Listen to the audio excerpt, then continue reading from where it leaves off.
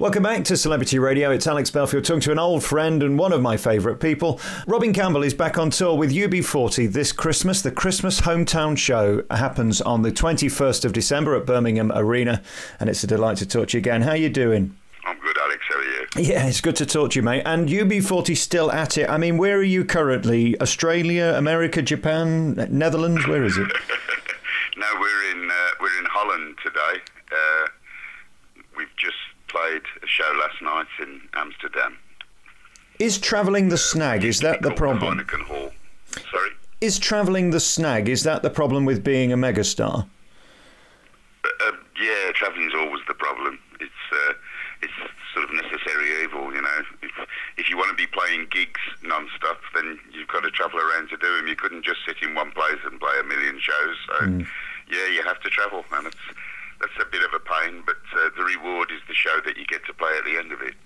What is the baggage like when UB40 go on tour? How many trucks are there? How many bags do you have to take? It can't be just to sort of pop over on EasyJet, turn up, sort of use a microphone. I mean, it's a big operation, isn't it, getting the show into town? Yeah, I have actually no idea what we take with us anymore. Um, it used to, you know, we used to have figures when we went on a big tour, and I mean, you know, we've we have toured on our own plane, uh, you know, in the past, but uh, I really have no idea. Um, I know that you know we have one tour bus for the band and one tour bus for the crew, and I know that there are a few trucks, but I really couldn't tell you what the amounts are nowadays. I know that we're a lot more streamlined because it's easy to do it that way. You don't have to take the amount of uh, equipment that you used to in the old days. Mm. Um, with you know digital digital stuff, it's uh, it's much less and much lighter. So it's it's not the uh, the operation that it used to be.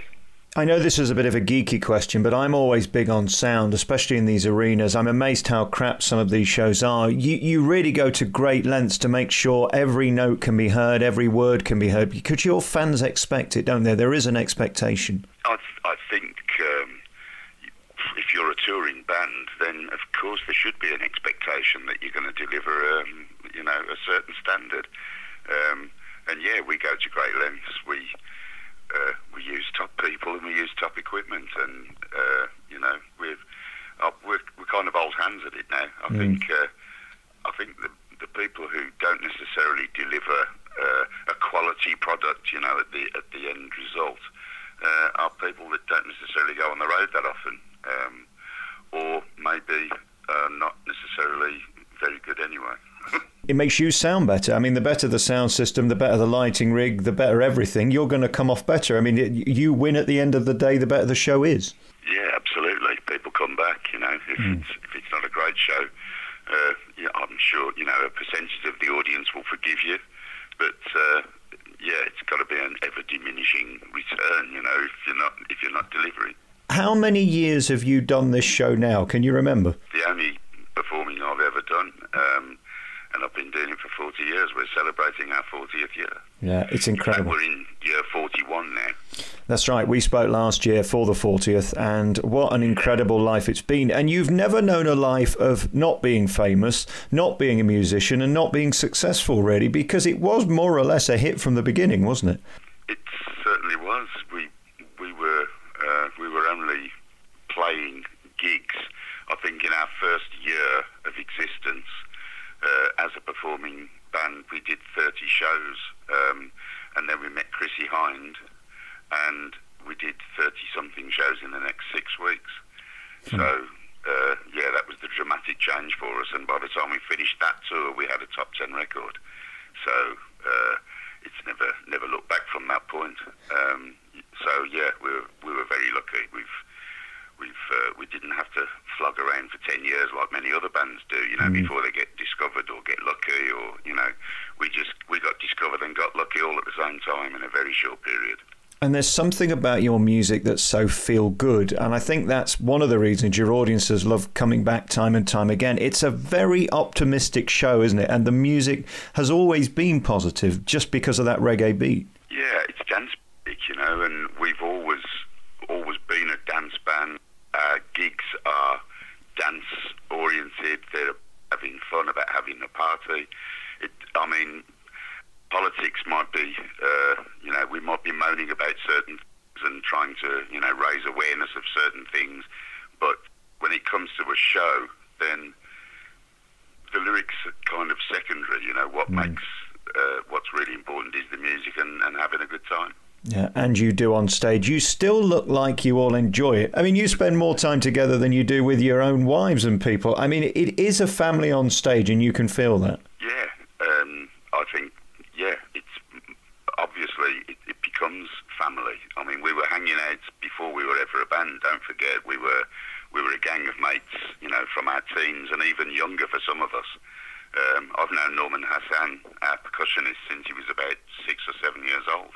Mm. So, uh, you know, we've we've been hanging out a long time. So we were kind of family when we went on the road, you know, and I think that's why we got on so well for so long, mm. um, and why there's still uh, five of the original band touring. You know, we have new guys, but the new guys are, you know, our horn players have been with us for over 20 years, nearly 30 years, I think. Mm. Um, and you know Duncan, our new boy, is now in his twelfth year.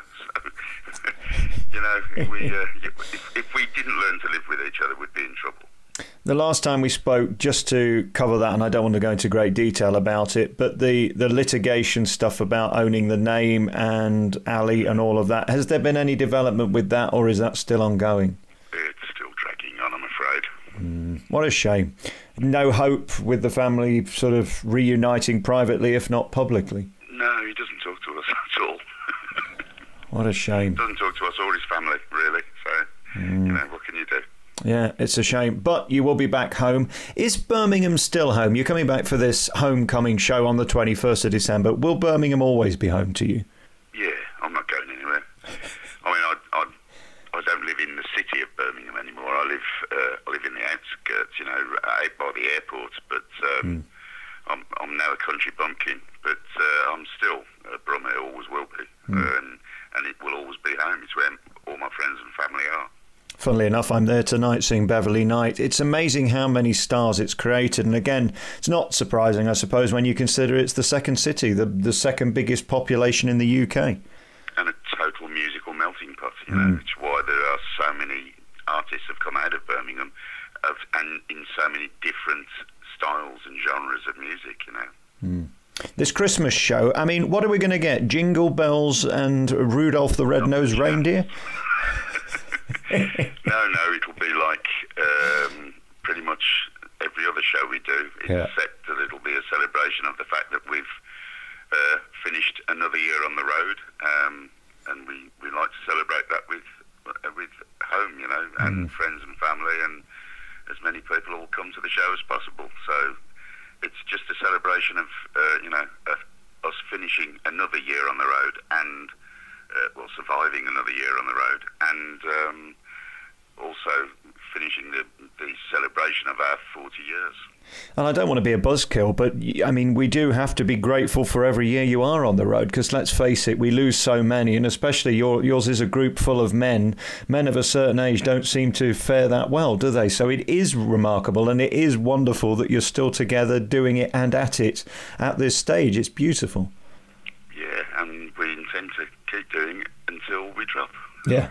Is... we, we, we're having more fun than we had uh, in a long time, really. You know, with, since Duncan came on board, it's totally, as I've told you before, you know, it, it reinvigorated the band, and mm. uh, we're we're just having a ball again. It's it, it is wonderful that um, you know I, I imagined that um, I'd have been hanging up my boots a long time ago, but uh, to be still travelling the world and playing to audiences all over the world, and uh, you know, just the the buzz and the love that you get from audiences, you know, just can't be replaced. So I'll be doing it for as long as I possibly can.